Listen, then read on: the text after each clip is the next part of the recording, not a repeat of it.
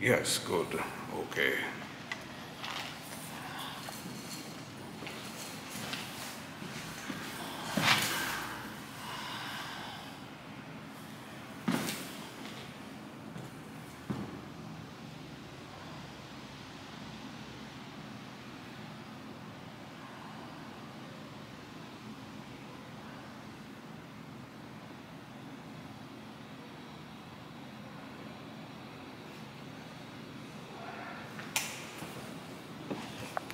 Okay, you can cut now.